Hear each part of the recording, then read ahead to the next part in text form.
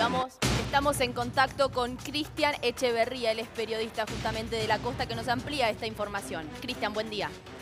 Hola, buen día chicos, ¿cómo les va? Muy bien, Cristian, te escuchamos. Contanos más cómo está esta situación de este futbolista. Bueno, lo que ocurre inicialmente eh, es que hubo tres hechos delictivos en Cariló, tres eh, en modalidad de cruches, donde fueron denunciados eh, los tres, bueno, en Cariló. Se ve por las cámaras de seguridad de la municipalidad, se puede visualizar una camioneta de color negra dirigiendo a la cercanía de esa dirección. Luego, con un relevamiento de cámaras privadas, se puede confirmar que el mismo vehículo era el que habría robado eh, esas casas, ¿no? Bueno, luego de la investigación de la policía de Cariló, juntamente con la Secretaría de Seguridad de Pinamar, se logra identificar este vehículo, el cual le pertenece a un veterinario de, eh, de Villa Gesell, ¿no? Eh, lo, que, lo que se da la aprehensión de un chico que es el hijo ¿no? de, ese veterinario que era que le había usado la camioneta. ¿no? Este chico se manejaba con otros tres muchachos más, el cual uno era jugador de fútbol de las inferiores del Independiente de Lanús y que actualmente estaba en el club de Defensa y Justicia, pero como estaba lesionado, no estaba en actividad. De, en actividad. Bien, ¿qué, tipo de drogas eh, tenía en la camioneta? Le, encontraron 100 gramos de pasta base, de pasta base en el cual eh, aproximadamente en plata son unos 100 mil pesos en droga, más o menos. Y por supuesto en el allanamiento que realizaron ayer el personal de policial de Cariló juntamente con el Villa Gesell, se pudieron encontrar televisores LCD, eh, telefonía celular, bolsos, diferentes cosas que fueron robadas en estos domicilios en Cariló. ¿Él conformaba una banda o trabajaba solo? No, estos chicos, estos cuatro amigos, eh, trabajaban juntos, ninguno eh, con antecedentes penales, o sea, son chicos eh, de una familia de un poder adquisitivo, digamos, bien, no es que lo, no es que robaban por necesidad, si se puede decir, y digamos que son nuevos en esto, porque no tenían ningún tipo de antecedente penal, ningún tipo de salida o entrada en la comisaría, son, digamos, los chicos bien. En esto. Sí, se podría decir que bien, eh, realmente sorprendió a la policía porque siempre que se arresta a delincuentes eh, suelen tener un prontuario eh, un antecedente penal ya más, más, eh, más conocido, pero esta gente no, esta gente es nueva y comenzó a hacer de, hecho delictivo. Ahora hay dos investigaciones, una por droga y la otra por, por robo, ¿no? Sí, Monse ingresar a las casas cuando no, no hay nadie, digo, eh, no requiere demasiada violencia, si se quiere. ¿Armas se les encontraron a alguno de los chicos? ¿Algún tipo de arma blanca? Eh, ¿Revólveres, algo? No, no, ningún tipo de armamento, ya que la modalidad de robo, viste, es cuando la casa Claro, está, sola, por eso. Claro, ellos se no, no digamos, no confrontemos con ninguna persona ni nada. ¿Y, se le realizaron, em, digamos, eh, las pruebas para saber si estaban bajo los efectos de la pasta base o de alguna otra droga? Eh, sí, estaba, bueno, la Fiscalía número 4, a cargo del doctor Calderón, ¿no? Eh, los que le tomaron interrogatoria a, a esas personas, ¿no? Por supuesto, con las declaraciones, pero bueno, hay cámaras de seguridad ¿no? que afirman el robo y eh, si estaban o no en eh, bajo efecto de droga, eso no te lo podría confirmar, mm. ese dato no lo tengo, pero eh, sí que la droga es pertenecía a eso, o sea que uno de ellos la, poseía en su bolsillo. Bien. Sí, te quería preguntar si la camioneta del, del padre se encuentra secuestrada o, en qué situación está.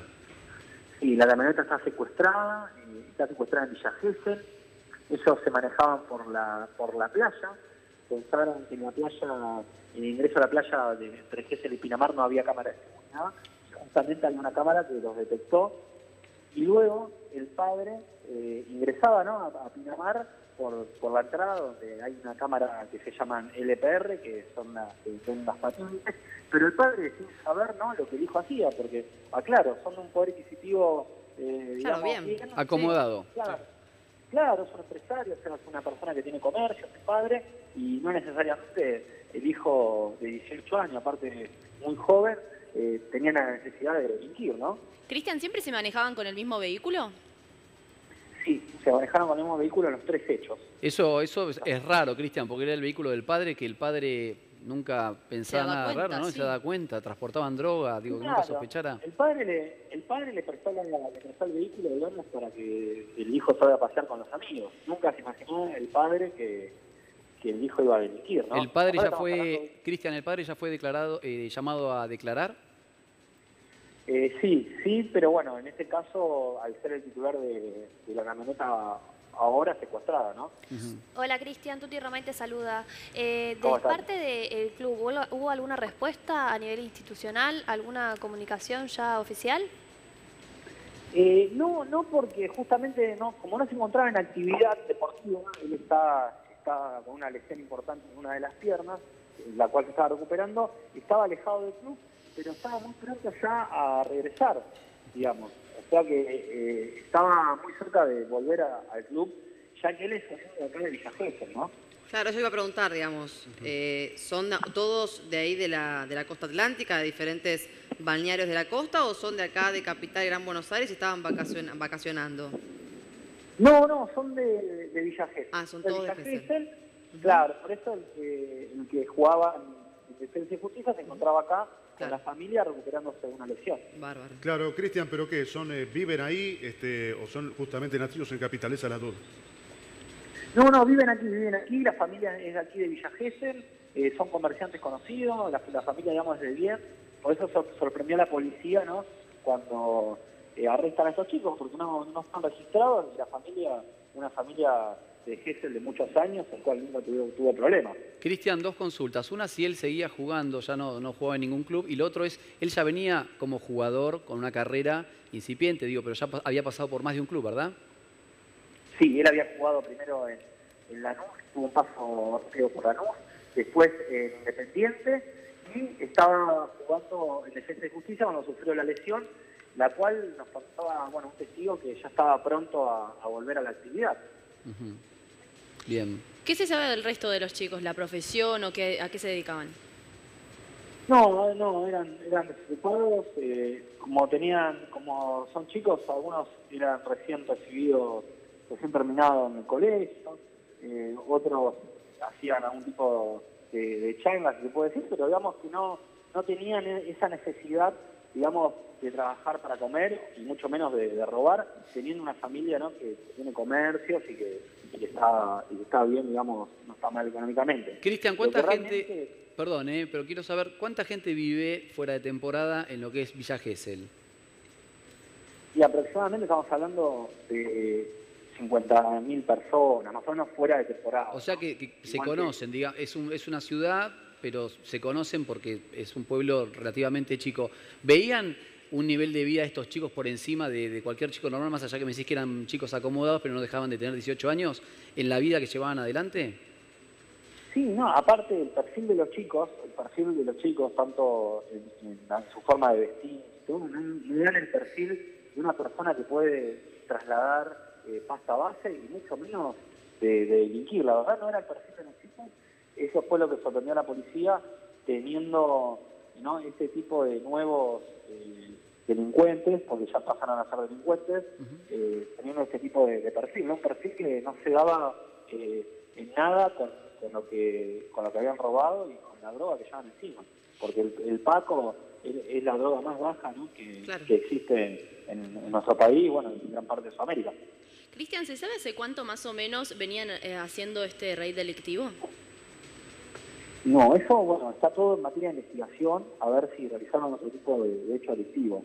Ahora, la temática se le juntan tres hechos que son eh, perpetrados en Cariló, ¿no? Se, le- se le perpetran esos hechos por cámaras de seguridad que lo hicieron y aparte por los allanamientos, eh, por las cosas secuestradas, ¿no? La familia del, del exjugador, de- del, digamos, del chico detenido, ¿a qué se dedica? Tienen comercio, tienen comercio aquí eh, en, en Villa Gesell. Ujú. ¿Comercio así Tiene de comercio en temporada o a, o a lo largo de todo el año? Eh, no, eh, trabajan todo el año. Y el, Gente de- y el de- comercio, digo, es próspero. Yo digo esto porque me, me cuesta entender cómo Sí, no, no. trabajaban solo- de alguna manera, por decirlo trabajo, o, o operaban con el vehículo del padre y el padre, digamos, nunca, nunca pudo observar nada. Bueno, pero también lo hacían fuera de Gessel, ¿no? También Sí. podrían haber dicho que iban eh, a otro balneario a, a pasar Ah, en la tarde, to- claro. completamente. Está Exactamente. Está, todo cerca, además. Sí, Cariló, no, lo que me llama la atención eh, también, a ver, voy a hablar de, eh, por ahí me van a matar, pero digo, de travesura. Digo, si fuese un hecho, ha pasado que por ahí se juntan tres o cuatro y, digo, por una cuestión de... Si no tienen nada que hacer, chicos, bien, Sí, suena, eh, suena hacer- feo no sí. tener nada que hacer, pero lo hacen eh, como para probar en algún punto. Ahora, si ya tenían, o se sospechan por lo menos de tres hechos. Ya es una organización. Y si los encuentra con droga también, digo, evidentemente o necesitaban plata para comprar la droga, o hay que ver si no tienen algún fin de, de comercializarla luego, tanto en Gessel como en otros lugares de la costa. Eso será obviamente materia de investigación, no te lo estoy preguntando a vos, pero eh, para contextualizar un poco, ¿no? Porque aparte es una camioneta, se ve eh, de gran porte Sí. y de gran valor. Sí, sí, una, una Maroc, Sí. una Maroc del año 17, y por supuesto que el Calderón, del oficio número 4, Sí. eh, ¿no? en materia de investigación hay, hay muchísimo, porque bueno, tener a estos chicos eh, bajo arresto y por supuesto el secuestro de sus teléfonos celulares se va a ir dando a medida de la investigación eh, más cosas, ¿no? O sea, Cristian, en realidad mi pregunta con respecto al padre tiene que ver, porque ustedes ahí, insisto, se conocen, si no hay duda alguna de que el padre pueda tener que ver o, o tenga conocimiento de, esta, de este accionar. Claro, no, no, el padre no, el padre es una persona de bien, el dueño de la camioneta es más, es veterinario. eh, a veces no, no tiramos más en detalle la información para no entorpecer la investigación, pero no, no es una persona de bien, la policía estuvo investigando y aparte es una persona que la conocen los vecinos de Villa Gesell. Por eso sor- sorprendió eh, cuando el hijo eh, cae arrestado por, robo, ¿no? Realmente se sorprendieron tanto los padres como los vecinos de, de Villa Gesell. Y realmente lo que hay que destacar es el trabajo que realizaron eh, la Secretaría de Seguridad de Pinamar con la policía de Cariló por las cámaras de seguridad, porque si no era por las cámaras de seguridad, estos chicos seguirían eh, delinquiendo y robando quizás otras localidades. Cristian, en caso de ser declarados culpables, eh, ¿de cuántos años estamos hablando de condena? Y, y en nuestro país la justicia siempre no tiende a, a tener eh, para pagar fianzas, depende ¿no? Eh, el hecho en sí, pero bueno, y sin estamos hablando de un- antecedentes, aparte, digo, si no tenían Claro, antecedentes. antecedentes, es un escruche, no es un robo mano armada, Claro. ¿no? Hay muchas cosas que, muchos factores que van, que van. El eh, único teniendo- agravante pareciera ser la droga, digamos, ¿no? Porque si no tenían armas tampoco. Ahora yo te pregunto, eran todos mayores, ¿no? Eran todos mayores, Bien, eh, entre eso sí. 18 y 20 años. Sí. Lo, lo grave también es encontraron las cosas denunciadas, ¿no? Encontraron las cosas robadas, encontraron en la casa donde vivía. Cristian, vuelvo al padre. Este, ¿Tiene que declarar? Eh, ¿Pudieron hablar con él? ¿Se sabe algún tipo de declaración que haya hecho?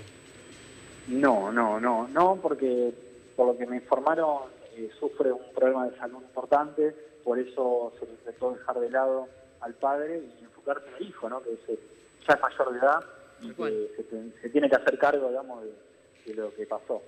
Cristian, ahí estamos viendo las imágenes y por lo que se ve se manejaban de día. ¿Sabías, ¿Sabés si la venta también se daba por la noche en los boliches de la costa? No, lo que lo que a ellos se los, se los encuentra es ingresando en hora de entre las 4 o 5 de la tarde y ingresan a, a Cariló y los, los hechos son alrededor de las 6, entre las 6 y las 7 de la tarde le ocurrieron esos tres hechos delictivos. Ya la droga abre otro tipo de investigación, porque Claro. se buscaba por robo. Al encontrar la droga, ya interviene eh, la fiscalía, ¿no? Eh, abriendo otra causa por tema de droga. Entonces, es otra investigación aparte dentro de la misma causa, digamos, ¿no? Y aparte, por, por le- el importe que vos dijiste eh, que se encontró la droga, digo, no hablaría de un consumo personal. No, la verdad es una cantidad importante, son Por 100 eso. gramos y, y aparte una droga, eh, como te repetía, Sí, una que- droga realmente muy, muy... Es altamente tóxica en dosis muy bajitas. Se sabe que se, se fracciona en dosis muy bajas porque es altamente adictiva. La Entonces, venden en partes. sí. Claro, entonces tiene, estamos hablando de una cantidad, digamos, de poder de reventa muy grande. No creo que sea para consumo personal, lo que abriría, como decías vos, otra investigación paralela. Y otro delito. Sí, aparte no tienen el perfil para nada, o sea, lamentablemente el que consume este tipo de droga, uno se hace inmediatamente eh, que que es consumidor de esta droga. Pero estos chicos, eh, nada que ver, tienen un perfil totalmente diferente en el cual pones una foto y no te das cuenta que, que, que son, que son consumidores de esta droga y mucho menos que son ladrones. Pero bueno, lamentablemente el perfil de los ladrones va cambiando eh, y va, va cambiando de generación y por supuesto que estos chicos que ahora están detenidos ya les van a dar una causa penal de por vida y es una mancha imborrable, ¿no? Bien. Muy bien, Cristian. Bueno, muchísimas gracias por la información y tenernos al tanto de este caso. Te mandamos un saludo y buen fin de semana. Gracias chicos, buen fin de semana, un saludo grande.